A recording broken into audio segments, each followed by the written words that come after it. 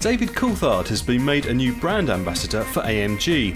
From now on, the 40 year old Scot will be active as a discussion partner during customer and press events, and also support the AMG development team in their test driving activities.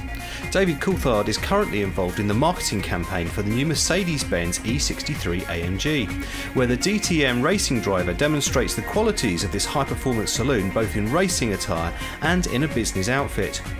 With a fuel consumption of 9.8 litres per 100 kilometres, the E63 AMG is the most efficient car in its class.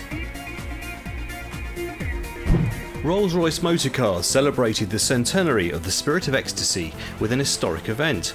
100 Rolls-Royce motor cars from 1911 until the present day were displayed in the courtyard at the home of the super luxury car manufacturer in Goodwood, West Sussex.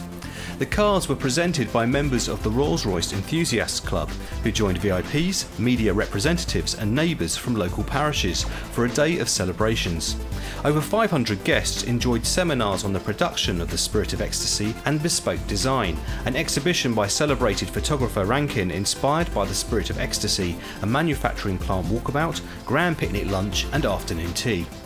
The celebration concluded with a cavalcade of over 100 cars around the Goodwood Motor Circuit, led by a new Phantom Drophead Coupe. Toyota's indestructible Hilux has a new look and new high-tech features for 2012. The redoubtable pickup has been given a comprehensive restyle from the A-pillar forwards, with a new bonnet, radiator grille, headlamps and bumper, plus new wheel designs and new sidebars and steps for the top of the range Hilux Invincible. The interior has been given a new look too, with new upper dashboard design and horizontal instrument cluster that emphasise the breadth and roominess of the cabin. The revised layout incorporates the new Toyota Touch multimedia unit with a full colour 6.1 inch touchscreen.